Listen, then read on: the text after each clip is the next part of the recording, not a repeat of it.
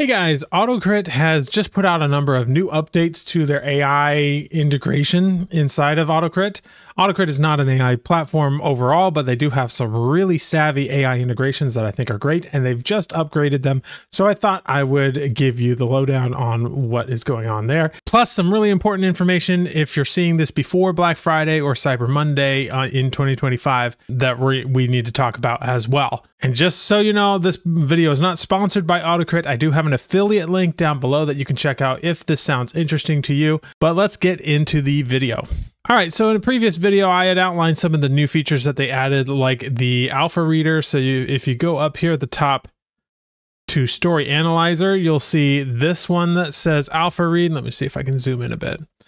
Um, click on this Alpha Read, Story Analyzer Plus, Beta Read, and Market Fuel, all of which I think are fantastic additions to this platform and super helpful for any author who wants to make a living with their books, especially this Market Fuel stuff, which analyzes your book and gives you a bunch of marketing assets. So that like that's super valuable in my opinion. But also having these uh, beta and alpha readers is really interesting too. So they have a bunch of pre-made ones like this one known as the Harsh Critic uh, but you can also create your own depending on what niche you're in and so forth. Uh, but they've made a number of improvements to this based on some feedback. In fact, there was one thing I had met with them just a couple of weeks ago, like maybe six weeks ago, and gave them some feedback on this. And they literally came to me last week and were just like, hey, we did that thing you asked. And I was blown away. So they're clearly listening to authors and want to know ways that they can improve. And so some of those are here today. The first thing I want to mention here is that we have a first read and a reread button. What this does is, uh, let's say you you get the analysis of your book and you think, okay, that's fair, and you go and you make a make a bunch of changes, and you want to do a reread to see if it improves. What this does is it actually allows you to, first of all, you get to keep your history so you can see what it said the first time, which was not the case before. And now with the reread, you can, uh, it has the context of what was wrong in the previous instance. And so now it will know what you have changed and it will know if it's better or not. And also, if you actually do those edits here inside of AutoCrit, as long as you do it inside the, the platform, it will actually know what changes you made specifically and be able to give you feedback on that. So that is a really handy feature right there. Additionally, this little arrow to the side of first read and reread uh, gives you this little box where you can provide additional context. So if there's just something you want it to know, um, like I, I don't know, like maybe uh, maybe you're subverting a specific trope and you want to make sure that they know that you have the trope in there, but you're subverting it. So you're trying to take things a little bit in a different direction and you want it to make sure it knows that and has that context. You can do that or whatever additional context you want it to have in this space. This also allows you to override some of the commands that you might see in the instructions for the beta reader. So for this one, for the harsh critic, it has all of these instructions on how it is supposed to react to your book. Um, so if you want to override any of this without actually coming in here and changing it, because maybe you only want to change something for this specific read through, that's a good instance where this additional context area could be useful for you. All right, the next thing that I am super excited about. This is probably the thing that got me the most excited. Well, it's it's one of the things that got me the most excited is as you scan through what it gave you for uh, feedback on your book, you'll notice now there are these little pound signs or hashtags for you young people. If you click on one of these, it will actually take you to that moment in the book where it is highlighting that thing. So in this case, we got premise and the hook, and the strength is the central idea. Arthur, the future king, pulled into a rescue of his mother slash half and half sister in the other world, is strong and immediately marketable. The manuscript sells its weird Arthurian hook well early, uh, like Caliburn's inscription. And now, if I click on this, we'll actually come to Caliburn's inscription right here. Whoso pulleth out this sword from the stone is duly born king of Britain. Um, also, here uh, it takes you to another area uh, where it clearly talks about the inscription. Uh, and then the green witch fire. you know. So, anyway, it's just talking about the premise and everything good there, which means if we find an area where it's asking, uh, where adds something that you need to improve, So, for instance, here it says what Caliburn specifically does. Uh, so, it's asking what it does specifically. Uh, it says there's a holy light, why it repels certain things. Uh, so, this apparently is not as well explained in the manuscript. And if I wanted to go to instances of that, I could just click this little sign and suddenly we get pulled down to this paragraph in my book a distant bone chilling howl echoed through the night it came from the direction of the bay and sent goosebumps crawling down arthur's arms he slipped his helmet on and pulled his sword free revealing the blade in front of taliesin for the first time the mist seemed to falter momentarily, the green light swirling around the pale glow of Caliburn as if the blade itself emitted a holy energy that dispelled some of the otherworldly power driven for, forward by the mist. All right, so yeah, it's certainly a little bit vague about why it's doing that. Now, uh, I can now just make a decision as an author to be like, okay, this is clearly meant to be sort of a a uh, awe-inspiring moment. There isn't actually a mechanic in the magic system that's calling it to push away the green light. It's just more of like a an emphasis on how holy this sword is and how important it is, and that it's sort of infused with some kind of bright magic. It doesn't really matter uh, the mechanics of what it's doing in this situation. So I can just go ahead and ignore this. Uh, but as you go through, you could just you know pick up on these different things and be like, okay, actually, yeah, that's good advice. Um, and uh, anyway, this makes it so much easier to actually find the instances where improvements could be made, and uh, makes this whole alpha and beta reader feature infinitely more useful, in my opinion.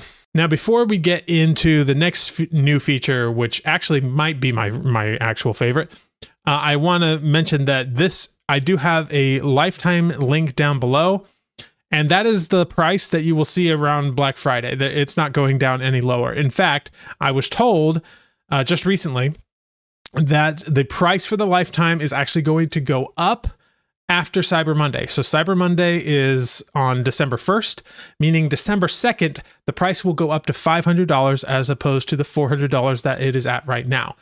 And uh, my link and the link of a couple of other influencers is the only way to get a lifetime price for AutoCrit, which is why I highly recommend you act on that now. Again, this is not sponsored by them. I just really like their platform. But I do think getting the lifetime account is the best way to go because features like this cost them money every time you run it because it's using AI.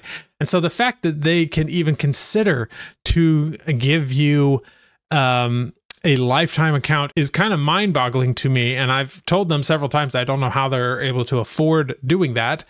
Uh, at least in the long term. So definitely, if you don't want to pay $100 extra, get this platform before Cyber Monday uh, is over. And uh, once again, there's a link down below. All right, so let's go to the next feature that I'm really excited about. And this is this is the feedback that I gave them that they immediately implemented and came back to me a couple weeks later saying it's done.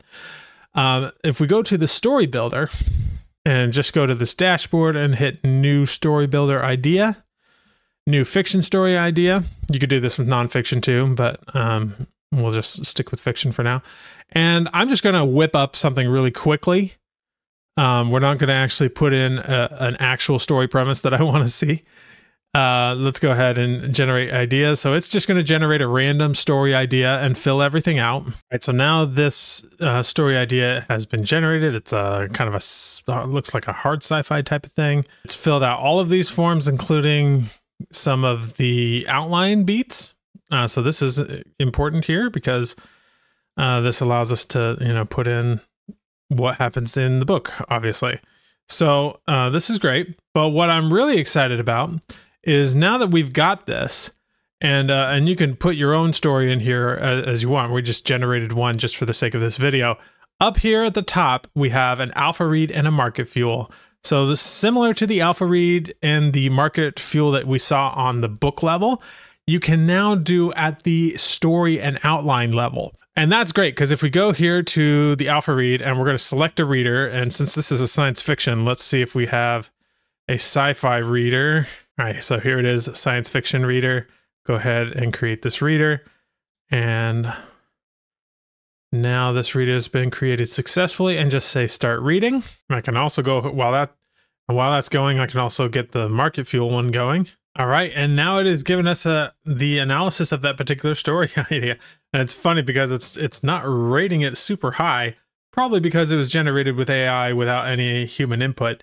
Um, but uh, yeah, so it goes through and it actually gives you detailed feedback on all of the different things at the outline level. So you have instead of you know feedback for each chapter, you have feedback for each of these story beats, and uh, and it does a pretty good job. And the reason I like this, the reason this was the feedback that I gave AutoCrit is because I actually recommend authors, especially if you're just starting out and you don't have a huge budget, that you probably shouldn't hire a developmental editor after you finish the book because chances are, especially if you're just starting out, the book won't actually be that great yet. And you'll have to make massive edits in order to fix it. But if you hire developmental at the outlining stage, um, assuming you are an outliner, then they can actually help you fix a lot of those things early on before you even write the book. And therefore, you can uh, you can go in with at least some certainty that the overall structure of your book is good, and then you can focus more on line edits and proofreading and stuff like that when you're done. So that's why I thought it would be really handy to have an alpha reader that will actually do this for your story idea and not just the finished book. Because sometimes making those edits after you finish the book can be pretty substantial. And uh, personally, I don't like having to do all those. So I like to fix things before we even get to that stage. Additionally, here in the market fuel section, you can actually get quite a few additional marketing assets before you even start with, and this can be useful as well. A lot of authors I know will recommend starting with the book description, having it written before you actually write the book, um, because it helps you to kind of clarify what the hook is of your book and uh, what the genre is and all of that. And so all of that is listed here. Plenty of useful information here um, that could be useful as you're writing the book. So you can go through these to your heart's content and just uh, you know have fun with it. All right, so now let's go to the last fe new feature to come to this. I'm also pretty excited about this, although I don't have use cases for it in this exact moment. But what you can do is you can actually create a series and run an analysis at the series level as well. So I've just created a couple of dummy books here, a book one and a book two. And if you go up here to select, uh, and this is in a folder, by the way, you'll need this in a folder. And if you go to add up here inside of the folder level, you just hit add and then this button, this green one that says series analysis. Click on that and suddenly you'll get this thing uh, under the project that you've selected and you have your two books here. You can then select your, who your reader is. So let's go ahead and select that harsh critic again. You also have access to Analyzer Plus and the beta reader and the market fuel here at the series level as well. Now you'll notice that there's a little warning sign here for the books, and that's because there's no story in there, and you have to run your story analysis on each of those books individually first before you can actually do the series analysis. But it's really cool to see that if you've got multiple books in a series, and you want to kind of see how they all fit together and whether each one is a good fit for the genre, this is a good way to go. And that's it for the uh, new updates to AutoCrit. I was super happy with all of these and uh, super happy to see how quickly they were able to turn around some of those ideas, especially when I had just given them a little bit of feedback. I was pleasantly surprised that they came back to me with that. Once again, if you want to get this, you can get it at the lifetime price of $400 at my link down below but it will be going up to $500 after Cyber Monday. So go check that out. And also, if you want to know more about how to write a bunch of books with AI in an ethical way that doesn't interfere with your creativity, but allows you to write upwards of a book a month or more, check out my uh, Story Hacker Gold membership links down below, and I will see you in the next video.